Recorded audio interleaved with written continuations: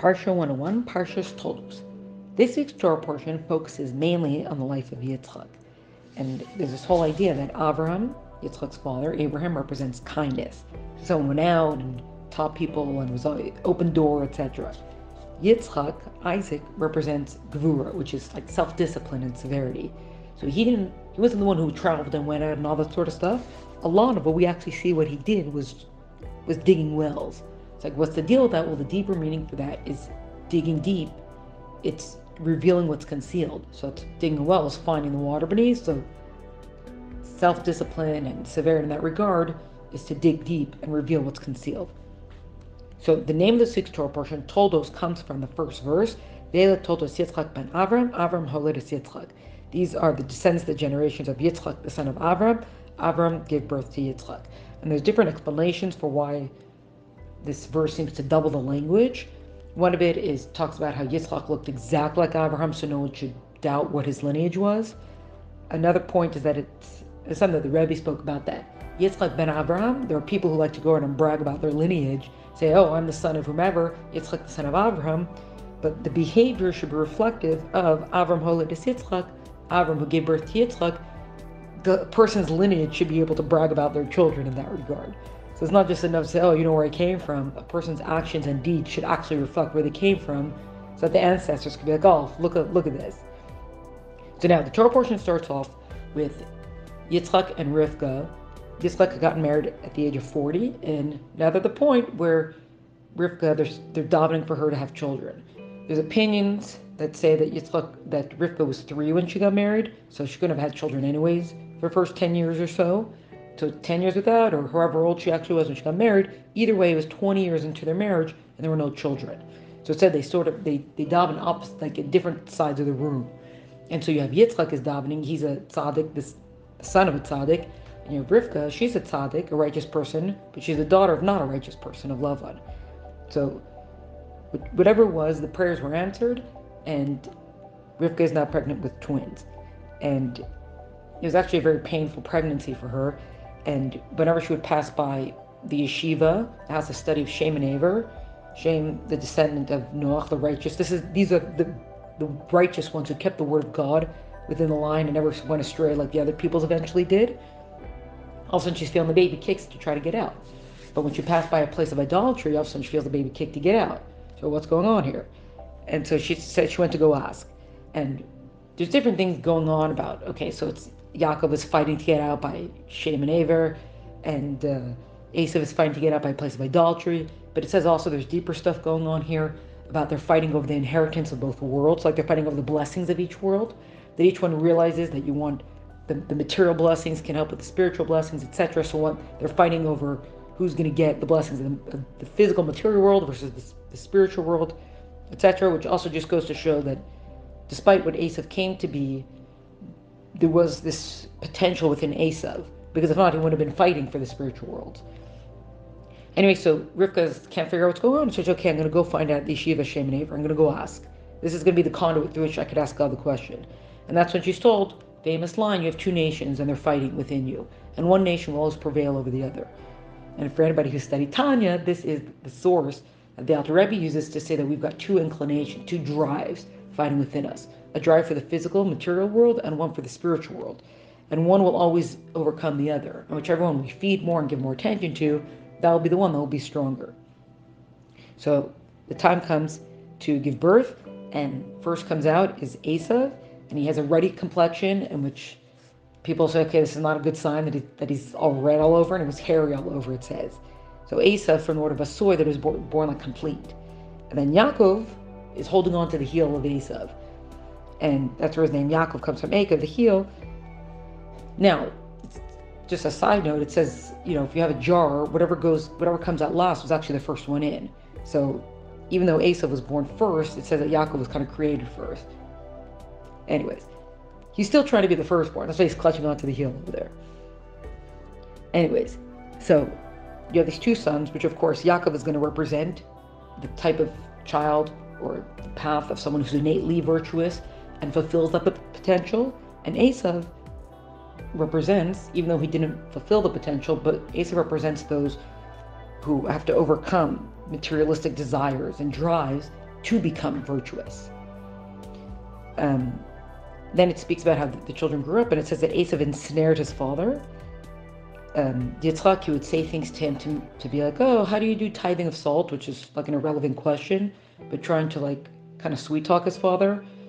And even though Yitzchak kind of knew that Esav had this thing, he was, he, he kind of, I guess you say, kind of fell for it. And then, but in truth, he was really a wild hunter and he was not a great person. And it says Yaakov studied in the tent. Yaakov was, uh, was, a, was an innocent, pure kind of person. Now, it says, so there, thereby Yitzchak loved Esav and Rivka loved Yaakov. And also, kind of like a side thing, going back to something original, Yitzchak's whole thing was digging, revealing what's concealed. So part of this whole thing, Yitzchak loved Esav, is that he wanted to, to reveal the concealed. He knew that Esav had a great potential. He just didn't necessarily realize how far he had gone, that he wasn't necessarily coming back from it. But he wanted to reveal what Esav, the potential that Esav had inside of him, that goes to the well digging. And we even see that Esav's descendants, eventually along the line, there'd be a lot of converts coming from Esav, and a lot of great people came from those converts, or were converts who came from those converts. Um, for example, you have Avadia, that's Obadiah the, the prophet. You have great sages of the Talmud, Shmaya and Talian, the great Rabbi Akiva, the great Rabbi Meir, who's quoted all over the Gemara and Onkelos, who was a Roman convert. So Rome comes from Esav, and he he did the Aramaic translation of the Torah, which is also considered like a commentary by seeing certain words that are used in translation that offers commentary, and that is printed in almost very frequently, like almost it's printed in almost every text. So these foremost people, we see there's a great potential there. Okay, so now everything happens. So what happens now? One day Yaakov is at home and he's cooking up lentils. Why is he cooking up lentils? Because Avram had just passed away. Avram was supposed to live to the age of 180. He passed away at the age of 175 because God had promised Avram that he would die in peace, and Esav had come, he was coming of age now, and even though he kind of behaved very nicely, he was about to take a sharp left turn. So to spare Avram what his grandson, to see what his grandson was going to be, Avram passed away at the age of 175 and Yaakov's cooking lentils to console his father. Lentils are round, it represents the circle of life, etc. Esav comes in and he is famished. He is so hungry that it says that uh, he had come off of doing some moral stuff. It might have been his first murder he committed. Not great stuff was going on. He comes in, he sees what's going on. He's like, feed me that red, red stuff. And the word red, Edom, so that's why he was known, would become known as Edom. So we know the descendants of Esav will refer to Edom, like the nation of Edom. Now we're in the after the second temple was destroyed by Rome. It's called Galus Edom. We're in the exile of Edom now. It refers to all the descendants, the whole nation that he became. So of course Yaakov says, "Oh, you want the lentils? You got to sell the birthright." And uh, kind of, this is not necessarily the commentary speak about what was the conversation they were having, Yaakov knows that part of the birthright, originally the firstborns were supposed to serve in the temple. And there's a lot of sacrifices that go along with that and whatever. And Esau's like, "What's the big deal to you? Like, why is it so important to you?" He's like, oh, I want to be part of the sacrifices, whatever. And by the way, do you know there's a lot of rules that go along with the sacrifices? And someone who doesn't necessarily this rule or that rule, they might even be put to death from it. And Esav is like, oh, this is going to kill me anyway, so what do I need this for? And he and he sells it. And Yaakov says, you got to take an oath, you got to swear that this is outright mine. I don't want any strings attached or anything like that. And again, he sells it right, he eats, eats. The text says he eats, he drinks, he leaves, and he spurns the birthright that he had. Now the story cuts a little bit, and it talks about how there was a famine in the land, and Yitzchak went to, to King Avimelech in Gerar, which is the land of the Philistines.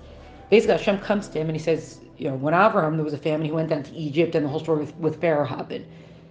God basically tells him, don't go there, you got to go to Avimelech, which is sort of Israel proper. It's not really Israel proper, but it kind of is, and eventually become of Israel proper because of everything that happened with the uh, with the Akedah of, of Yitzchak almost, almost being sacrificed, that he, he gained a, a, very holy, elevated status. He said, You can't leave the vicinity of the Holy Land. You cannot go down to Egypt. You stay here and um, you know, basically go to Avimelech. I'm going to bless you. I'm going to be with you. Your descendants are going to own this land. Basically, all the promises and the blessings they gave to Avram, your father, are now going to trans- are transferred over to you.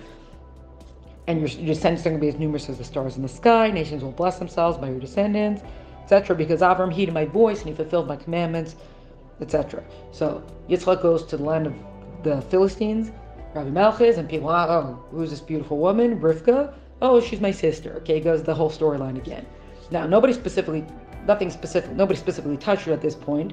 But after he was there for a while, and after a certain point, he kind of lets his guard down, and okay, now we could, uh, we don't have to worry about anybody watching us. But people were watching them, and Avimelech, the king, realizes what's going on, and he's like, "Hey, what is this thing you told us about her being your sister? She's not your. It's, you guys are behaving like husband and wife, you know." And so, you know, how dare you have done this? I could have, we could have had a terrible thing on our hands if somebody would have gone after her. If I would have gone after her, so you would have brought guilt upon all of us. And it's like, hey, you know, I didn't want to be killed because of her, etc. So Avimelech, the king, says, anybody who touches any of them will be put to death. Okay, fine. So Yitzchak settles there and he stays there for a while. He, it says he sowed grain and he reaped like a hundredfold. And all of a sudden he's raking it in. And God is blessing him to be super duper successful with flocks and herds and business ventures and everything like that. Basically, people are seeing it and he's so insanely wealthy and they're all very jealous of him. So it says that they blocked up the wells that his father's servants had dug and there's this whole situation that goes on, and then basically Abimelech the mouth of the king tells him, you know, get at it. You're more powerful than us, and so just just go. You got to get out of here. And so it's like the, he, he's allowed to leave in peace, you know, and he and he goes. And then um, it says that he redug the wells that his father's servants had dug, and then there's a whole story with him with these three wells that he digs. So he digs one, and the shepherds are fighting with him, and they whatever. Okay, and then he digs another one, shepherds are fighting, them, whatever. The third one he digs, and, and nobody bothers anybody, it's just left. And so there's actually a whole thing about three wells are representative of the three Beis the three holy temples that the first one was destroyed, the second one was destroyed, but the third one is going to last forever, like it's going to be left. Okay, so now Yitzchak goes to Beersheba, and God appears to him, him there, and he says, I'm the God of your father, um, you know, gives him all the uh, blessings, etc. Yitzchak digs another well. There's a whole uh, there's a whole uh, well digging situation theme going on here, right, with him. And then Abimelech shows up with the chief of his, of his troops. It's like, hey, what are you guys doing here? I thought you don't like me. It's like, no, we see that God's with you and He's blessed you very much, and we want to make a peace treaty with you. Okay, so they eat, they drink, they stay the night, and the next morning make an oath, and then the servants come and like, hey, look, we found water in the well, hooray! It says the whole thing that this name is now affirmed to be Beersheba, and the name is Beersheba to this day. So we do. There's a city in Israel, Beersheba. It's right there. Then it talks about now, skip ahead, we're in the year 2148, the Hebrew year. Esav, Esav, so the twins are now 40 years old. And Esav is like, you know what? My father got married at 40. I'm going to get married at 42. So even though for the past 25 years, he's been engaging in extremely immoral behavior and he's been taking married women doing whatever he wants with them. But oh no, look, see, I'm going to go get married. That's why Esav is, com- is compared to um, to a pig, they say. The same way a pig has his whole body trafe in the mud and he sticks out his hooves to say, oh, look, split split hooves, it's kosher. This Esav was kind of like that. So he, he marries these two women and they are idolaters. Not great. Not great situation. Okay, now we skip ahead a couple years and we're in the year of the blessings now. So this is year 2171. It's 23 years later. Yitzchak is 123 years old and he's getting old and his eyesight is dimming. They say different things about that. Either when he was going to be sacrificed, the angels cried and the tears fell into his eyes and it kind of eventually caused him to go blind. They say that the smoke of the incense of Esav's wives caused him to go blind. Not because specifically smoke can do that, but because Yitzchak was at such a holy, elevated status. So even something that was so rem- that was so connected to idolatry physically affected him. And they say also because of this whole story that's going to unfold with the blessings, God didn't want to just say, hey, look, Esau's not a great guy, don't give it to him. He didn't want to speak negatively against him. So instead, he allowed his eyesight to dim. So this is the uh, care that God took to not speak negatively against someone. And we can take the same care to just go out of way to not specifically speak negatively against someone. Anyways, Yitzchak summons Esav, and Esav's like, here I am. And he says, okay, I don't know when the day of my death is going to be. I'm getting old. I don't know when the day of my death is going to be. Commentaries say that as a general rule, people there's a high likelihood of them passing away within five years, plus or minus, of a parent of their parent's death. So Yitzchak is now 123 years old. Sarah passed away at 127. Avram lived much longer, 175, but now he's within the first set of five. So he's getting a little bit nervous. He says, okay, sharpen up your weapons and trap for me some game. As a go steal it, you know, trap it for me. Um, deer, speaking about, and prepare delicacies that I like that I, that I like, and I'm gonna eat it. I'm gonna bless you with the, the blessings of my soul, basically. And uh, Esav is very excited about all this, and he sets off. Rivka, in the meantime, overhears the conversation, and she's like, "Nah, this is no good."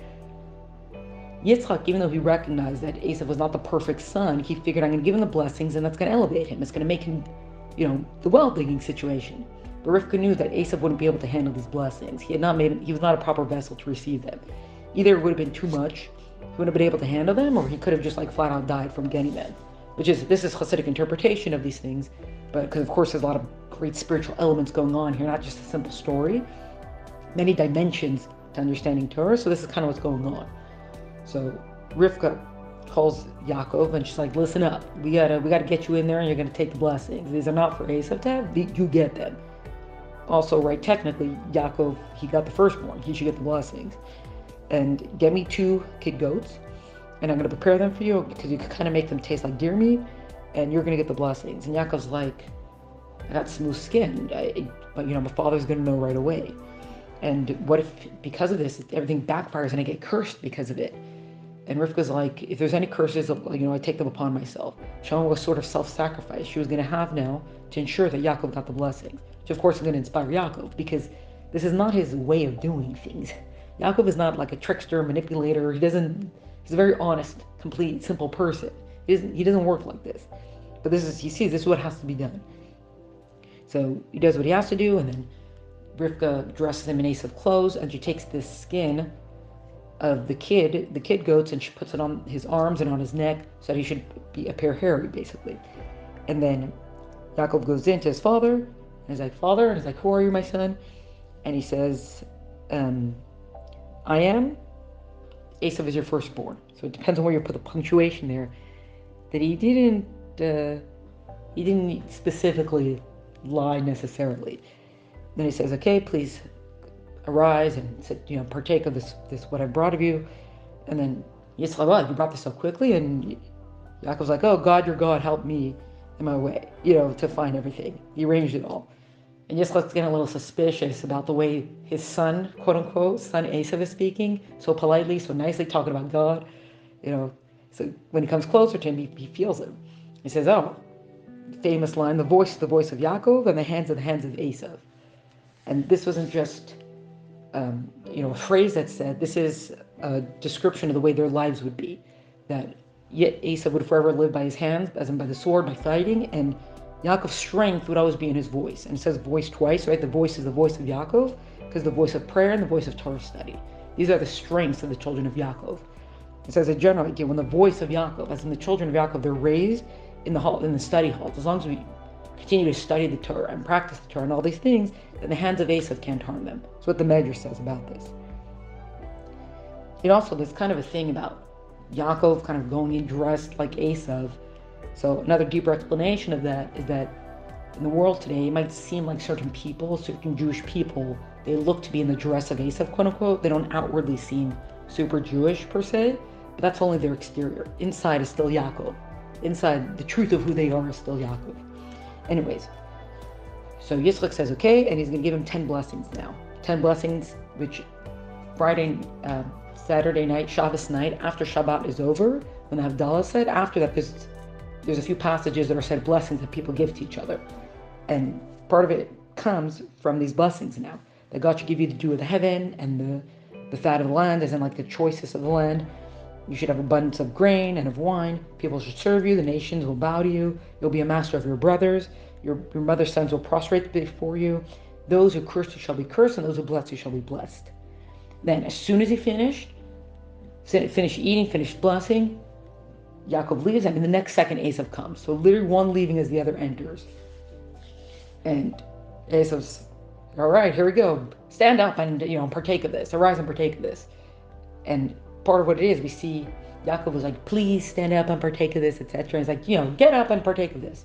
So on the one hand, Esav had great respect for his father, and there's different actions that we see that Esav does do in deference to his father.